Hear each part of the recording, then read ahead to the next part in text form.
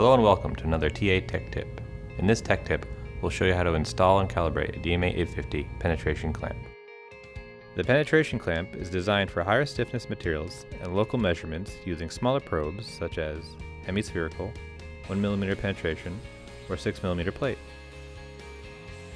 Open the Trios software and connect to your DMA 850.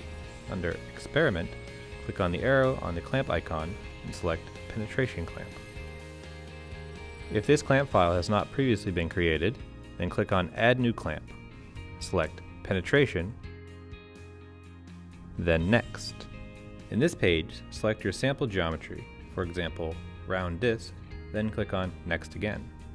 Enter typical values for your sample and click Next.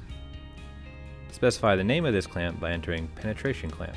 Click on Finish to create the clamp file. Then Trios will automatically lead you to perform the clamp calibration. First, clamp mass calibration. From the instrument touchscreen, lock the drive shaft. Install the movable clamp to the drive shaft with the dovetail base and Allen key as shown. Make sure the appropriate probe is already installed.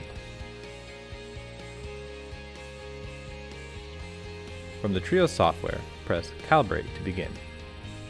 This calibration is to measure the mass of the movable clamp. After it is finished, click on Accept. The second step is compliance calibration. Install the fixed clamp to the four posts, minding the thermocouple position. Tighten the screws with the torque wrench set to 10 inch-pounds. On the calibration screen, select the clamp compliance calibration and click Calibrate.